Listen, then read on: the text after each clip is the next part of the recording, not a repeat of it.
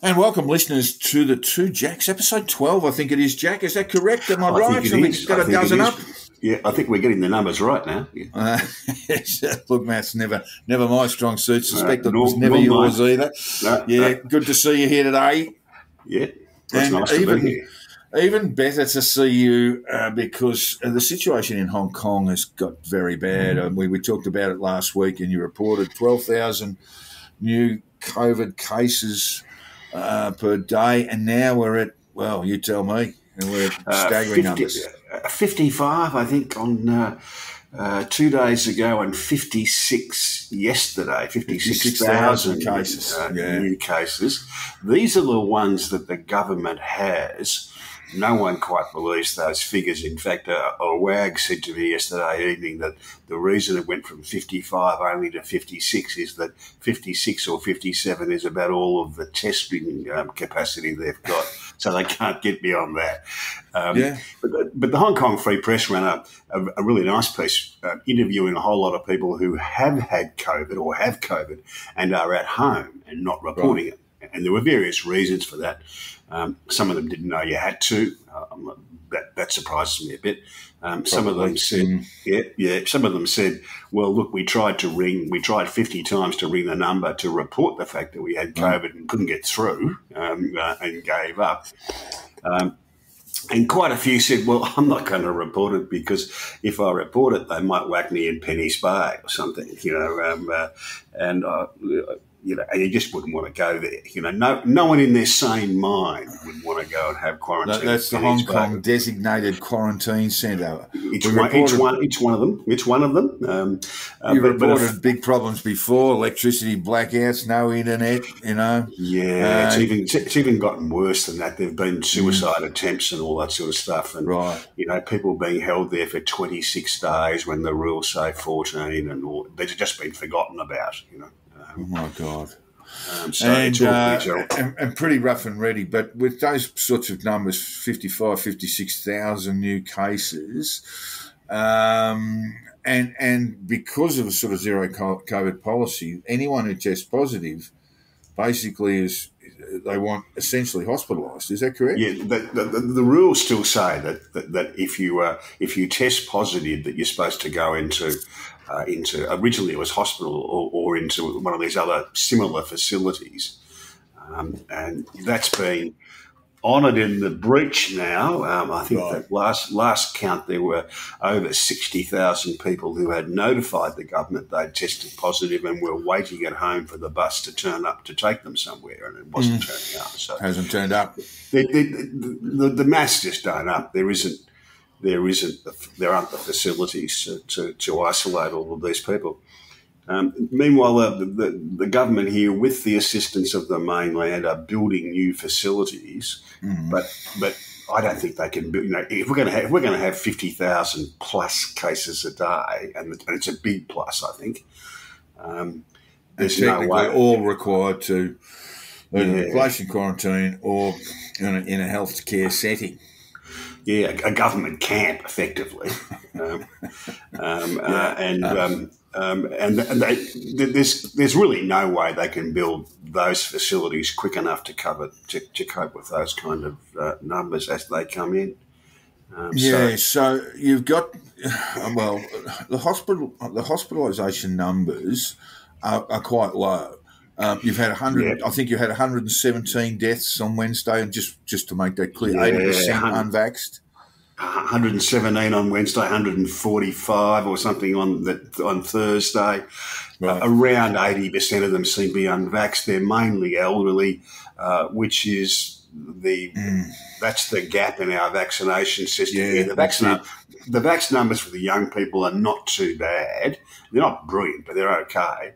But the vaccine numbers for the over 80s in particular were very, very poor. Very um, poor. Still under 40%. Yeah. Um, and um, and they're not that flash for the 70 pluses either. Um, yeah. But, but, um, so um, the sad thing is, I, I, think the only realistic prospect is that we're going to lose quite a few of the unvaxxed 80 pluses and 70 pluses um, uh, in the next month or so. They're either going to get very, very ill or worse, you would imagine. But the yep. hospital, uh, the hospital figures themselves aren't that bad with these huge numbers of cases, easily exceeding New South Wales. We've drawn that parallel in the past because you've got a sort of similar sized population, much longer, much larger land area and population density.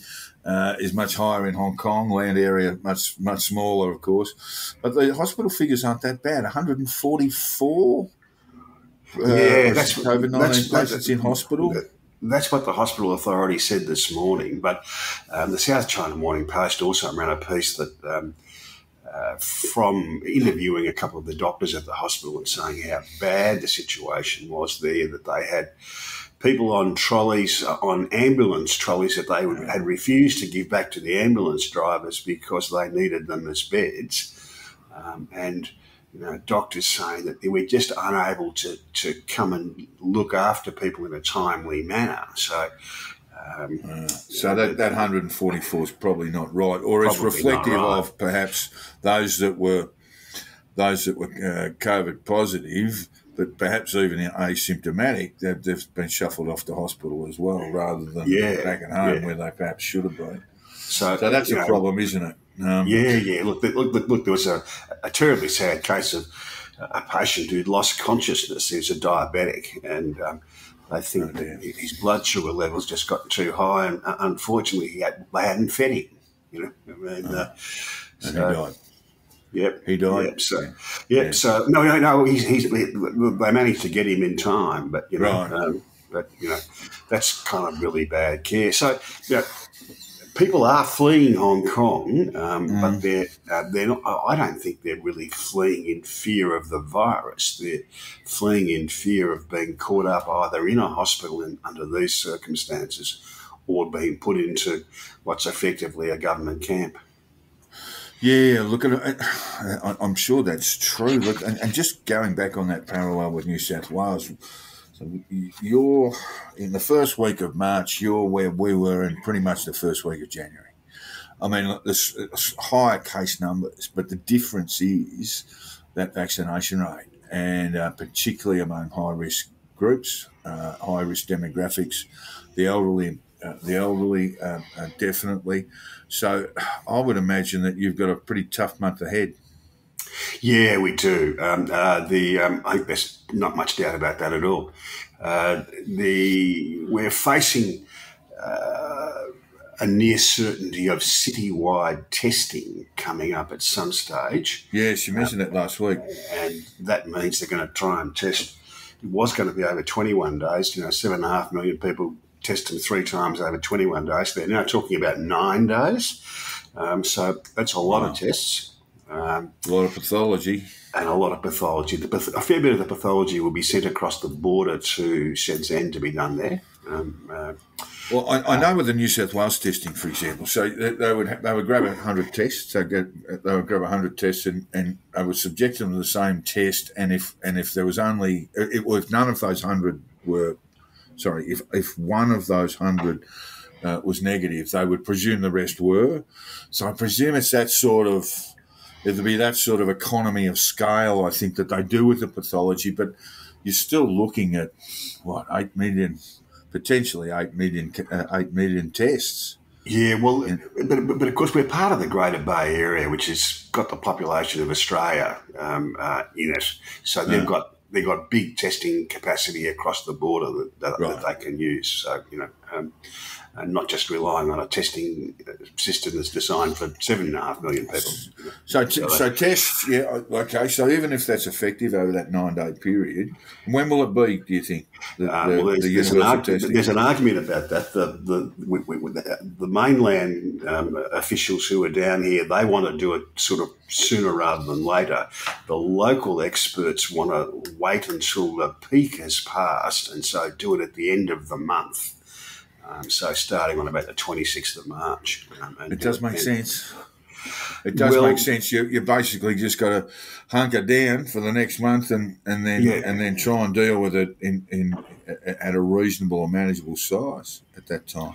Yeah, yeah, yeah. So no, no one's quite sure how that debate within the government's yeah. going to play out. Um, uh, then there's the question of whether we whether we go into a lockdown. And the idea, original idea, was that we would have a, a fairly strict lockdown, um, more strict than the, a Victorian lockdown, but perhaps without a curfew. Um, uh, during the testing period, so that's that's still up for debate as well. So there is, yeah, there's a lockdown still possibly there. What about panic buying? Yeah, have you got enough toilet paper? Have you got enough toilet paper, mate? yeah, well, I think I'll be right.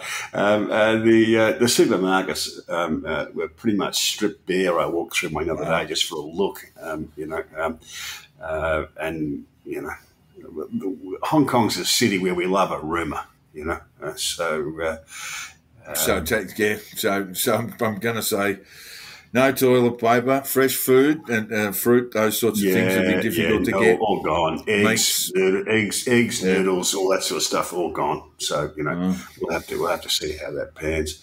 The, the EU consul the other day uh, told the government that ten percent of uh, Europeans in the city had left in the last uh, year or so. Um, which was an interesting figure. And that certain that certainly fits with my observation that there are a lot fewer expats around. Um, yeah. And, um, and, and indeed a lot fewer, not just expats, but of the um, kind of the mobile uh, locals as well. And and you were saying uh, a couple of weeks ago you found yourself in the pub, which is unusual, but you, you found yourself in the pub and there was just a small group of you, and everybody else was having farewell parties. Yeah, so pretty much. Obviously, yeah. there are a few leaving. Yeah, yeah, yeah. No, the, the, there certainly is an air of you know um, uh, we're, we're, leading up to the, the, the fall of Saigon and about the city at times at the moment. You know, that we're, we're just waiting for the last chopper to leave the top of the building. You know? how the arms? You're going to be able to hang on? Yeah, yeah. Well, I know I'm, I'm going to be stuck here. I, I think you know. So yeah, uh, you're, you're in it for for, for, for, for, better or worse. Yeah, I'm going to be a stay behind. So you know, I'll probably uh, uh, get out when I get on my boat in about five years' time.